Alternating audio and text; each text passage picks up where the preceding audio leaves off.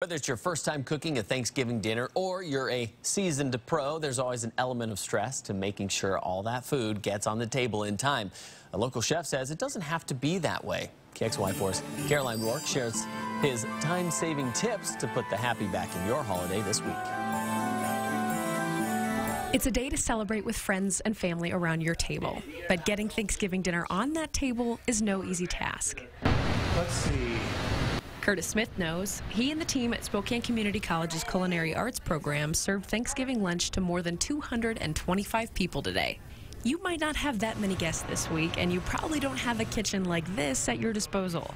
But some of the tips Curtis uses can help save you time and stress. I was talking to somebody recently who was kind of worried about their first Thanksgiving. Somebody was expecting them to, uh, to, to cook everything. So Curtis's first tip? Get help.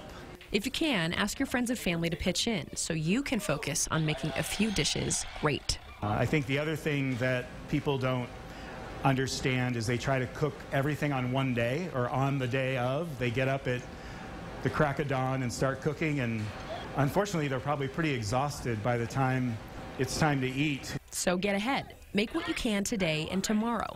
Three days in advance, make the cranberry sauce and put it in the fridge and be done with that. Mashed potatoes, you can peel them, cut them, and then leave them in water to wait. We just baked all of our pies. Our wonderful apple pies ready to go. Dessert is the last thing you'll enjoy on Thanksgiving, but it can be one of the first things you make. It'll save you time and space.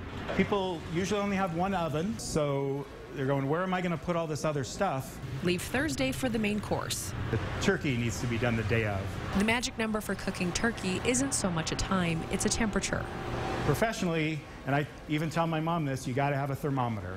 But get the turkey done early, and you can let it sit for just a little while to free up that oven for final touches. You got to utilize that time once the turkey comes out to get those sides into the oven. Caroline Rourke, KXLY4 News.